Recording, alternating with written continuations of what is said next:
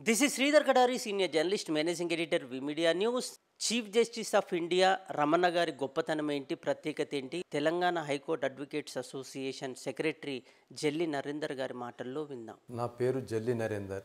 నేను ఇప్పుడు Telangana high court advocates అసోసియేషన్కు నంబర్ వన్ సెక్రటరీగా ఎన్నుకోబడ్డాను.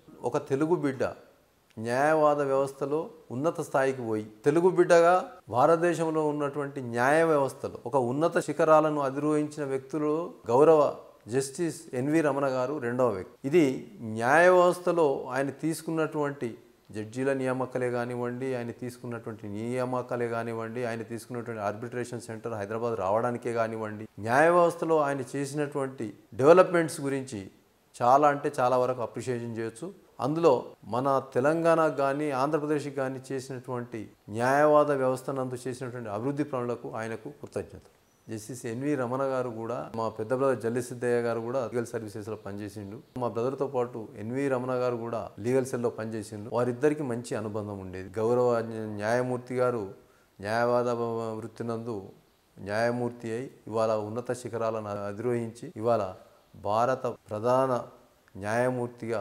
సుప్రీంకోర్టులో సేవలందిస్తారు.